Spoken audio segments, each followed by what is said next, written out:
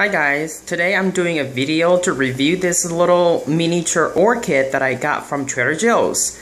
At a first glance, it may just look like any other miniature mini orchid phalaenopsis out there that you can get at a grocery store. And for Trader Joe's miniature orchid, I pay $6 for it, so plus tax, it comes to about $6.50. So um, for orchid hobbyists to get started, um, it's a very good price for, for people to get started.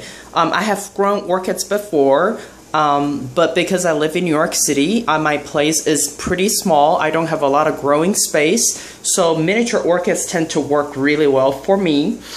Um, okay, back to this orchid.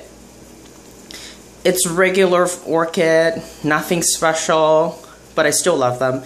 At a first glance, they do look pretty normal, but if you look closer, for $6.99, I actually have two orchids in a single pot. I have gotten miniature orchids many times from Trader Joe's and they're still doing really well at my apartment but this one two plants in a single pot that has never happened before and for the, re uh, the regular price that I pay, I feel that I'm getting either a 50% off or a buy one get one free. So what made me want to do this video is I'm thinking since I have never done full water culture before and because these two plants I see them as twins. So far, they must have received the same kind of care, condition, even shocks from you know change of environment from Trader Joe's to my place, everything being equal and they're the same type of orchid. I think this is a very good opportunity for me to make an experiment because um, I've never done full water culture before or even semi water culture. I've always grown my or uh, half my orchids the traditional way, have them potted um, in either plastic cups um, with ventilation holes on the sides or ceramic pots, clay pots. So um, I'm making this short video just to document that, hey, for $6, I actually for the first time get two orchids in the same pot. And, and another thing that's interesting about this particular purchase is that somehow these two orchids are fully potted within this clay pot, meaning they don't come with a plastic cup.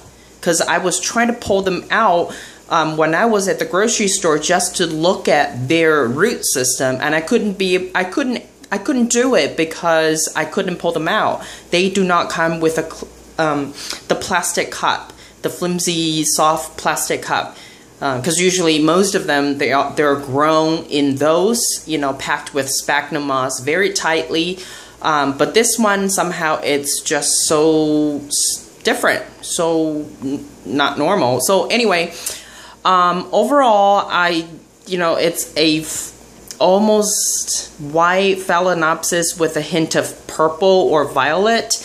And they are doing really, the flowers are doing really well. Each for each flower spike, um, they, they both just have one more bud for each flower spike yet to open. So um, for now, I think I'm because they just come from my. Um, they just come to my place today. It's the first shock. So I do intend to enjoy the flower for a little bit more.